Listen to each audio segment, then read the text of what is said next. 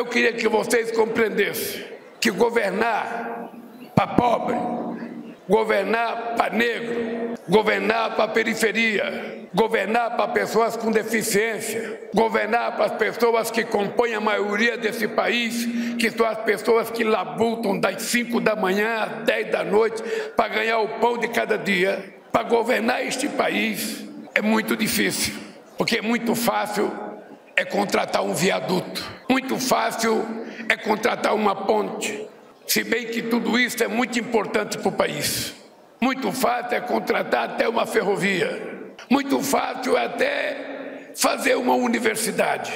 Agora, difícil é você lembrar que tem gente que não vai usar essa estrada, que não vai usar essa ferrovia, que não vai nessa universidade e que você precisa ir até elas para dizer: se vocês não podem ir até mim, eu venho até vocês.